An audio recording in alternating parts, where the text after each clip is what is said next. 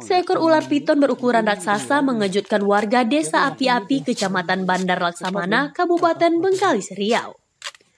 Saat ditemukan, ular piton dalam kondisi kekenyangan usai menyantap seekor babi hutan.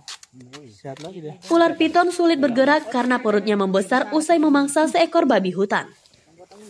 Penemuan ular piton dengan panjang hampir 8 meter itu bermula saat warga hendak melakukan pembersihan kebun kelapa sawit. Namun, warga dikejutkan dengan keberadaan ular piton yang hanya terdiam karena kekenyangan usai menyantap babi hutan. Untuk menghindari hal tidak diinginkan, warga kemudian melaporkan temuan itu ke petugas Balai Besar Konservasi Sumber Daya Alam atau BBKSDA Riau Resort Bukit Batu Bengkalis. Karena ukurannya terlalu besar, petugas terpaksa meminta bantuan warga untuk mengevakuasi ular piton menggunakan alat berat.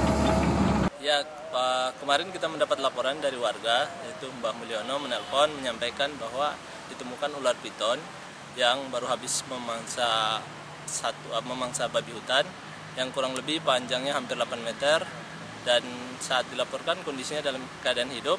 Setelah itu kita menurunkan tim dari resort untuk mengamankan TKP yaitu Resort Bukit Batu. Setelah itu uh, bersama masyarakat kita mengamankannya dan di situ lokasinya jauh dari jalan raya Uh, kebetulan di situ ada pengerjaan kebun yang ada alat berat. Kita minta bantuan alat berat untuk mengevakuasi ke jalan poros.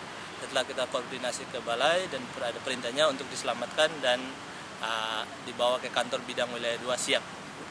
Uh, untuk uh, panjangnya sendiri berapa itu, Pak? Panjangnya kurang lebih hampir 8 meter, 7 meter lebih. Posisinya ditemukan saat warga sedang apa itu, Pak? Saat warga sedang membersihkan ladang di kebun sawit. Terus di, uh, dievakuasi ke mana bang? Di saat setelah itu kita evakuasi ke kantor bidang siak dan uh, sesuai perintah kepala balai kita lepaskan ke kawasan konservasi. Kuncinya ya makanya jangan lama-lama kasihan ini. Usai dievakuasi, ular piton kemudian dilepas liarkan di salah satu kawasan konservasi yang ada di wilayah Riau.